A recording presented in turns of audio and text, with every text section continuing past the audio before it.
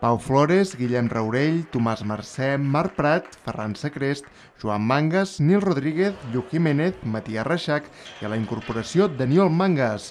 Són els 10 jugadors que conformaran la plantilla de l'hoquei Olot la temporada 2020-2021, entrenats per Jordi Costa, que ha renovat el seu compromís amb els garrotxins. L'Olot s'ha espavilat a tancar l'equip després d'anunciar el seu únic fitxatge per centrar-se exclusivament a preparar un curs que il·lusiona la seva afició. Això ens permetrà passar un estiu tranquil·let en l'aspecte de fitxatges i el fet que el tècnic Jordi Costa segueixi també és molt positiu perquè ja coneix el club i la plantilla.